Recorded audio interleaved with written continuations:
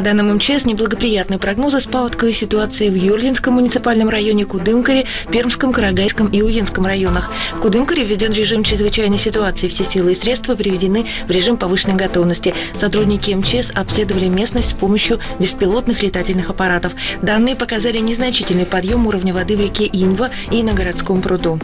Уровень воды сегодня составляет 621 в реке Инга. Пруд, как я уже сказал, вырос на 10 сантиметров. Из зоны затопления здесь эвакуировали 27 человек. В затопленных микрорайонах отключены 8 трансформаторных электростанций. Без электроснабжения около 500 домов. До понижения уровня воды подключать электричество не будут.